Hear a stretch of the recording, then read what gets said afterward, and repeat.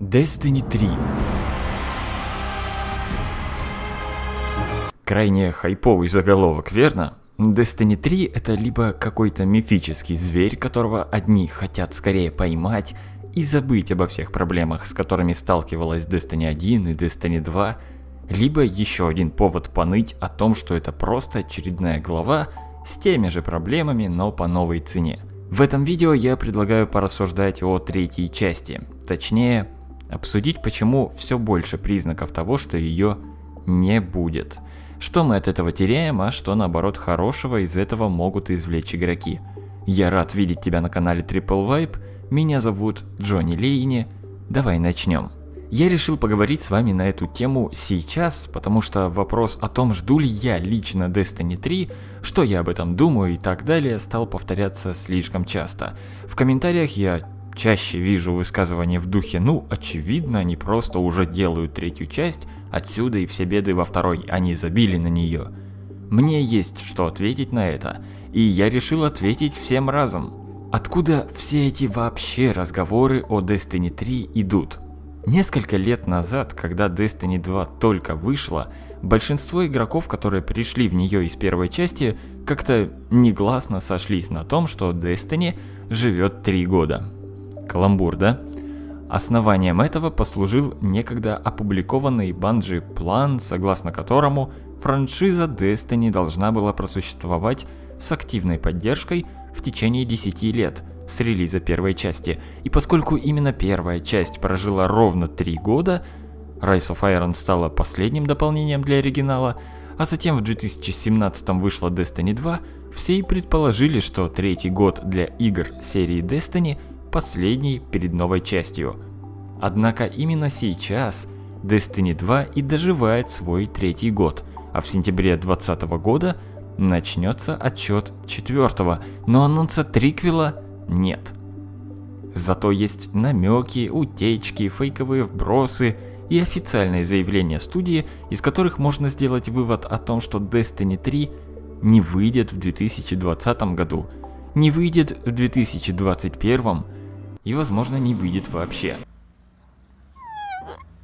Тут еще небольшая пауза. Я отдельно обращаю внимание на то, что в этом ролике я укажу вам на несколько источников, процитирую слова разработчиков и инсайдеров, но при этом вывод о том, что Destiny 3 не будет, верен лишь на 90%. Всегда может все измениться. Всегда я, как и другие контент-мейкеры, можем ошибаться, но все же на данный отрезок времени из того, что известно публично, и из того, что я могу обсуждать с вами, складывается четкое представление о том, что Destiny 3 отменена в пользу развития Destiny 2 как полноценного сервиса. Итак, к фактам. Спрашивал ли кто-нибудь публично в разговоре с представителями студии о том, выйдет ли Destiny 3? Да. И спрашивали не у кого-нибудь, а у руководителя комьюнити отдела Дэвида Дага, которого мы лучше знаем как Диджа. В конце 2019 года Дидж давал интервью изданию PC Games N, и там прозвучал вопрос, как долго Bungie планирует продолжать поддерживать и развивать Destiny 2, прежде чем переключиться на продолжение серии и представить публике третью часть. У меня нет никаких хороших анонсов о следующих смелых шагах в развитии франшизы. Сейчас наше внимание сосредоточено на том, чтобы работать над новыми сезонами на следующий год. Дать им одну связанную сюжетную линию, которая увлечет игроков – но я понимаю ваш вопрос, и он безусловно интересный, и мы готовим много классных вещей для вас. Но скажем мы об этом чуть позже. Я боюсь, что этого придется подождать немного дольше. Когда это интервью было опубликовано, многие сделали вывод из этих слов о том, что какая-то часть студии уже трудится над Destiny 3, но поскольку игра находится на раннем этапе создания, ее анонс решили придержать. Это укладывается в понятную логику, и на этом многие бы и остановились, но все заявления студии, кроме этого интервью, все чаще указывали и продолжают указывать на то, что Destiny 3 может вовсе не быть.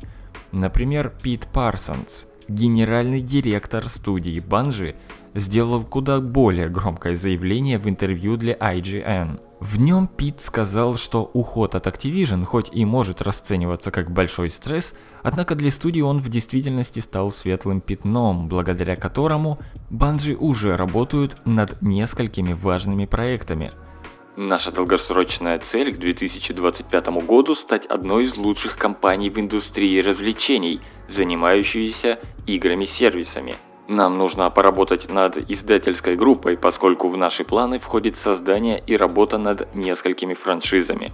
Эта реплика может свидетельствовать о том, что уже до 25 года студия Bungie запустит на рынке новый проект, который концептуально будет похож на Destiny, это будет тоже игрой-сервисом, но это будет не продолжение Destiny. На данный момент известно только одно зарегистрированное студией имя – Matter – Bungie даже публиковали логотип нового IP, также о его разработке еще в июне 2019 года писал бывший редактор Катаку Джейсон Шрайер. Однако известно об игре вообще ничего. Так что, исходя только из одного интервью главы студии, можно делать вывод, что на сегодняшний день ведется разработка как минимум еще одной новой игры, которая не имеет отношения к Destiny, но при этом Студия по-прежнему планирует на одинаково высоком уровне поддерживать и свои старые, и новые франшизы. Амбициозные заявления о том, что Банжи планирует стать одной из лучших студий в индустрии развлечений, ошеломляют. Но для инвесторов все это не пустой звук. Какие еще намеки мы можем найти?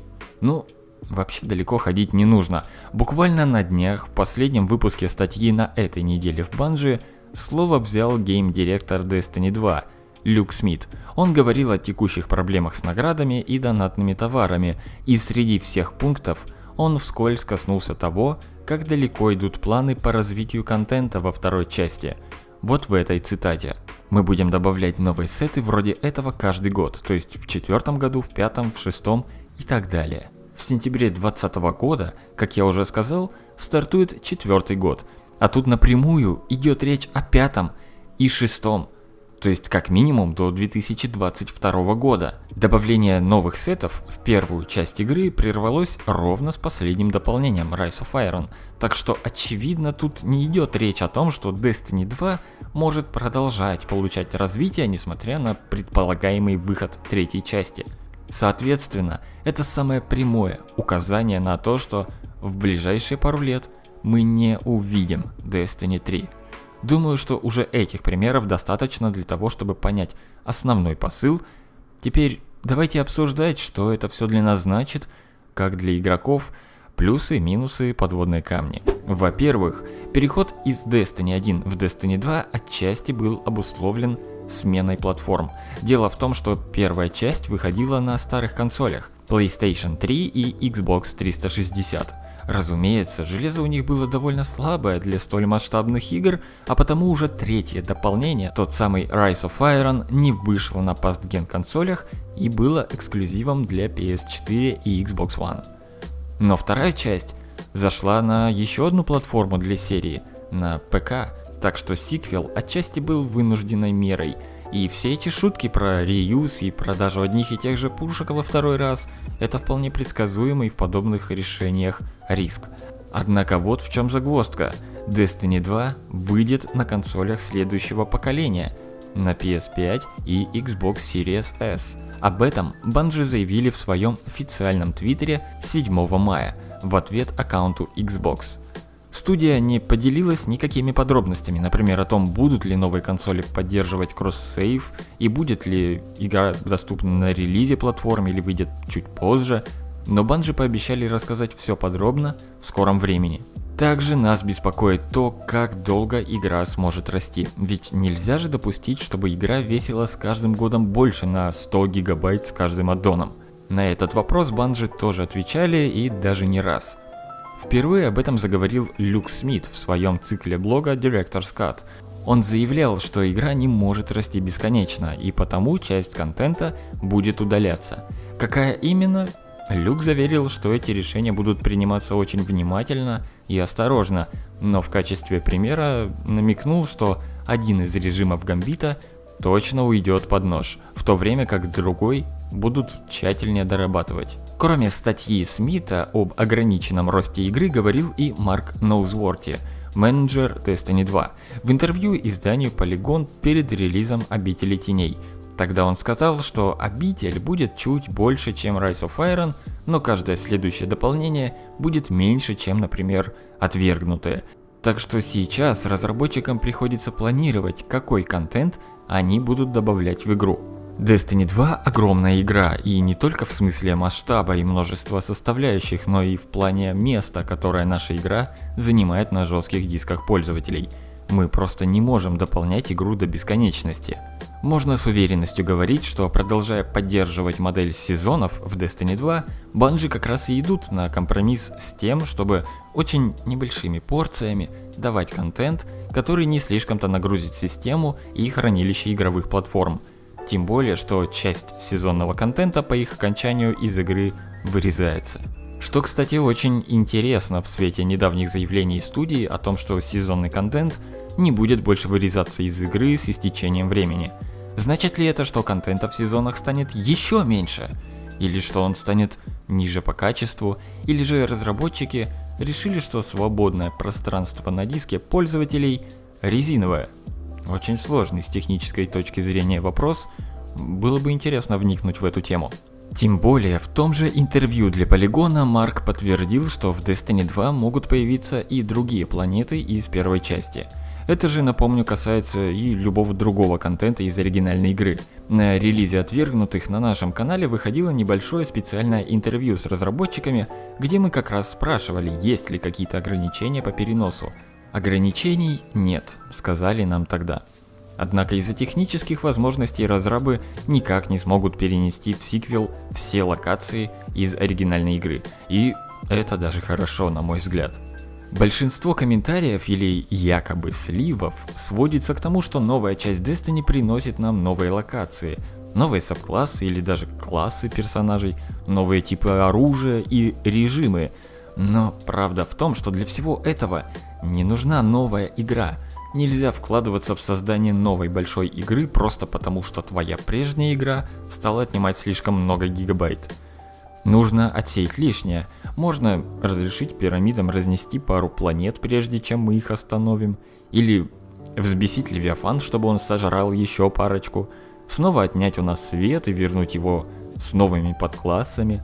Это массивные перезапуски внутри уже существующего мира игры – для этого не нужны столь огромные ресурсы, которые обычно бросаются на создание новой игры. Destiny 2 нужно развивать, над ней нужно работать, поскольку целью Bungie является позиция лидера в индустрии развлечений. У студии есть убойный продукт с невероятно преданной армией фанатов, есть огромные ресурсы и на нее работают лучшие художники, авторы и разработчики. Так что да, пожалуй, что я не жду Destiny 3. Я хочу, чтобы Destiny 2 стала только сильнее. И да, это еще одно новое сходство с World of Warcraft. Это я еще не стал поднимать вопрос модели распространения. Destiny 2 окупалась в платный период, потом ушла во free-to-play, а гипотетическая третья часть сразу была бы бесплатной. Какой бы уровень внутриигровых транзакций в ней бы тогда был? Не, не хочу даже об этом думать. Но прежде чем мы закончим, есть одна причина, по которой я бы хотел Destiny 3. Ну или мог бы понять, зачем она вышла. Смена движка.